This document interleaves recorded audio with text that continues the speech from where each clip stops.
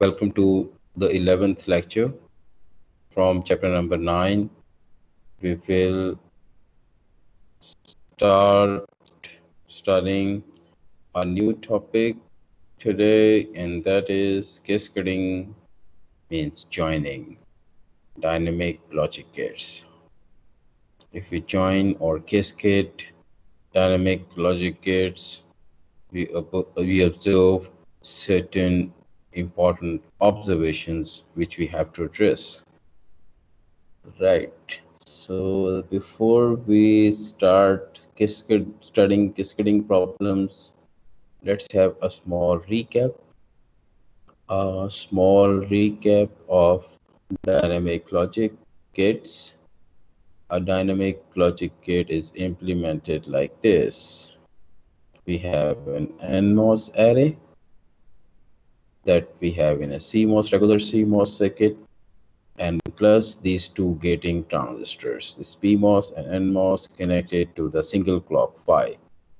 And we have two modes of the clock. The first mode is when it is zero, we call it pre-charge. And the second mode is when it is a one, it's evaluate mode. Right. So this is a small recap of dynamic CMOS, dynamic CMOS logic that we have been studying in previous lectures. The advantage is that it is faster because logic 1 is readily available at the start of evaluate period. And if the output is such, if the input combination is that the output is a logic high, we don't have to make any switching. So it's faster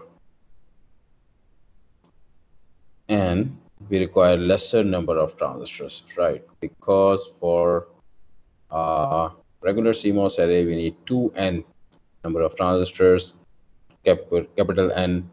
We require 2n transistors for CMOS, where this capital N means the number of inputs. Whereas here we require only n plus 2. n transistors to implement this NMOS array and two transistors, two gating transistors that are always present. So this is 2n versus n plus 2. The difference increases as capital N, the value of capital N increases. And the advantage is more. But there is a disadvantage that cascading sometimes causes issues. Cascading of dynamic logic gates logic gates having this general structure, they are problematic if we try to cascade them. Cascading means the output of one gate is driving the input of another gate. Right. This is an example where we will study the effect of cascading and we see that there are some problems when we cascade dynamic logic is right. This is a, a gate and then two gate and it is it is driving and it is driving a NOT this one NOT so this NAND 2 gate is driving a NOT gate and the inputs are one and one. The both both inputs are one, so the output has to be a zero. And if a zero is applied at the gate of this MN3 or at the input of this node, the output should be a logic one. But this must be in evaluate period, in evaluate interval. In the pre-charge interval, they both are one or logic one, VDD. Why? Because because phi is 0 means this transistor is off. And this transistor is also off because this phi is the same clock being applied to both of the gates. So this means and this mn is on mp is on and this mp is also on. So during pre-charge interval it has to be uh, logic 1 VDD and even this has to be equal to VDD because the PMOS gating transistor is on for both of the gates. So we have a VDD here and a VDD here. But as the evaluate period starts, what we are expected to have, right, we are expecting something, where is the editor editor this one. Right. We are expecting something like this. Now as the evaluate period starts the NMOS transistor the NMOS gating transistors in both gates are on because they are connected to the same clock phi hmm. All right so this is on. And this transistor is also on. Right. And we have a VDD here. VDD here. Initially we have a VDD here and a VDD here. So if this VDD is also applied here so when the inputs eh, the inputs are on and B they are all they are they both are on and we are in, in the start of the evaluate interval this means this path is on. This whole path is on. And this VDD will start will start discharging itself. The capacitance here will start discharging itself from VDD to ground. Similarly this VDD will have path. This capacitance will also be discharging through this path. Right. If ideally this should be this should produce a, a zero volts here because now the full NMOS array including this gating transistor is on. So ideally we should have a zero here. And when we apply this zero here the output should be VDD this is the ideal case but what practically happens is a bit different than this ideal case. Why is it different? Let's see. Let's see. Let's see why is it different. Right. This VDD at the start of the evaluate interval, at the start of this evaluate interval, this VDD has to, this the capacitance here has to discharge itself from VDD to ground through this path. And the resistance of this path is equal to 2Rn. If Rn is the resistance of one NMOS transistor, the resistance of the path is 2Rn. Whereas the resistance of this path is 3Rn. And it has it, this terminal has also to go from VDD to ground.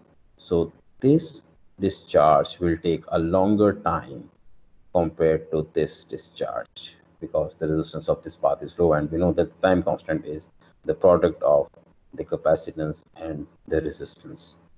So this path has a smaller resistance or a smaller time constant. This path has a larger time constant. So tau 1, tau of 1 is larger than tau of 2.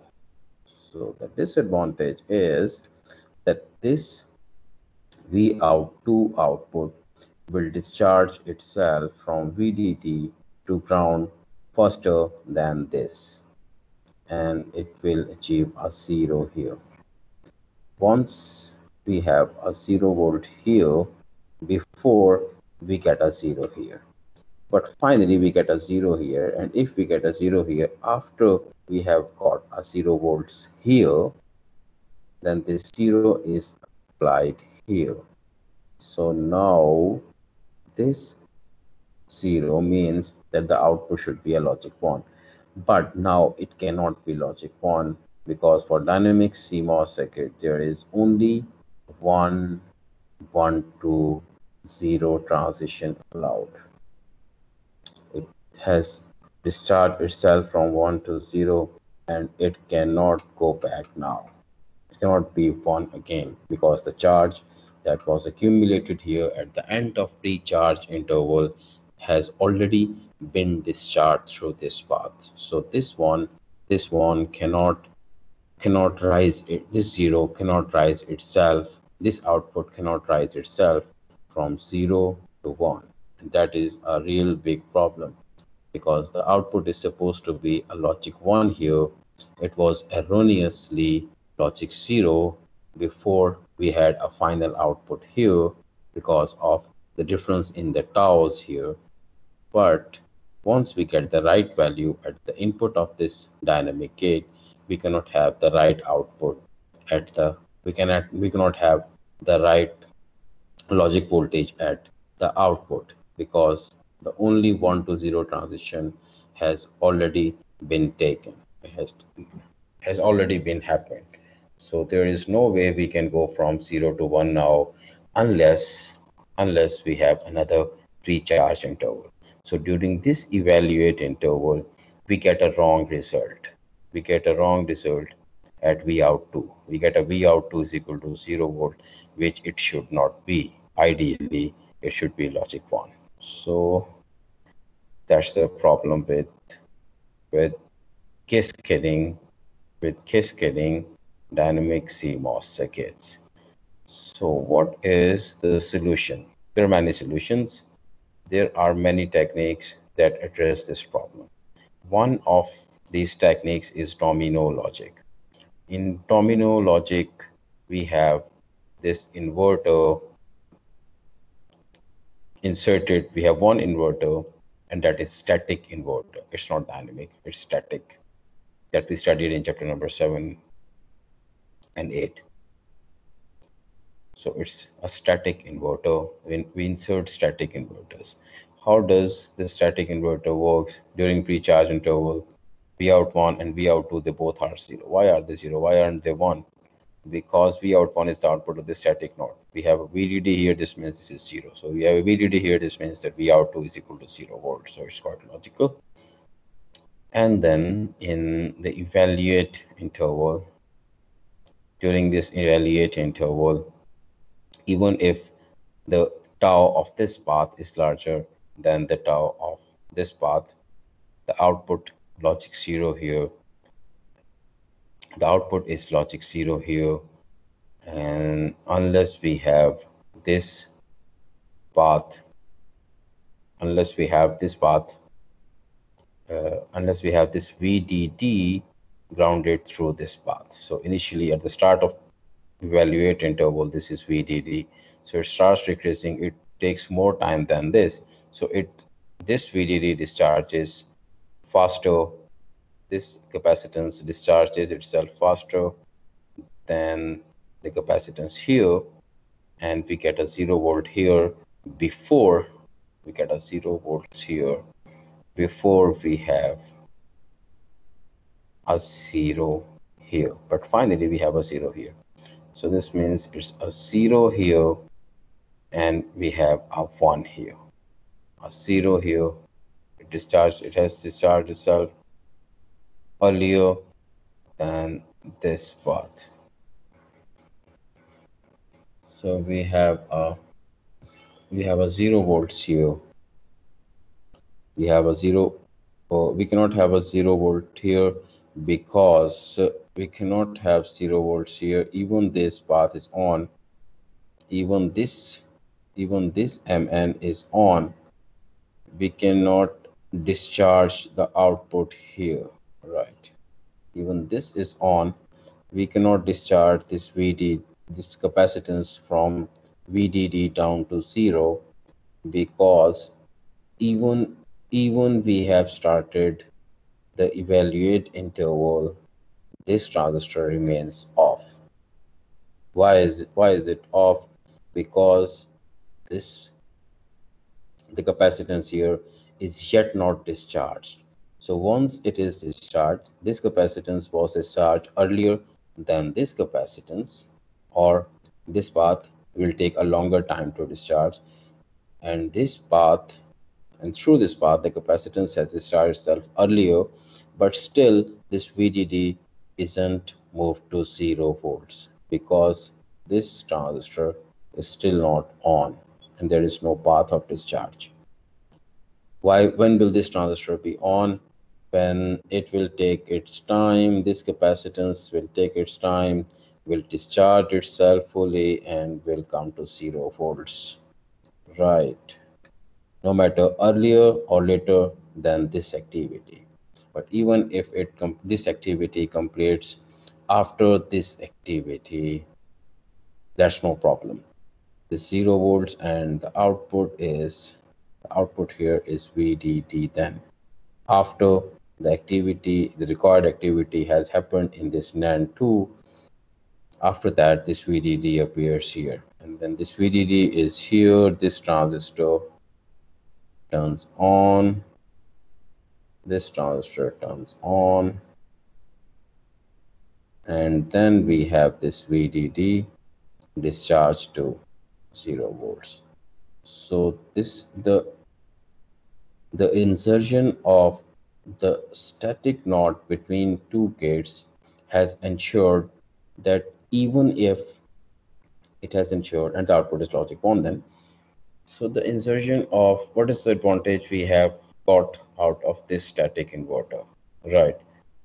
The obvious advantage is that even this path the capacitance here has discharged itself earlier than the capacitance here or in other words even if this tau 1 the discharge time interval for the NAND 2 gate is larger than the discharge time constant. Time constant for the NAND 2 is larger than the discharge time of this NOT even if it is true, even if discharge, if even if the discharge time of the preceding preceding gate is larger than the following gate, even then we don't get the wrong output.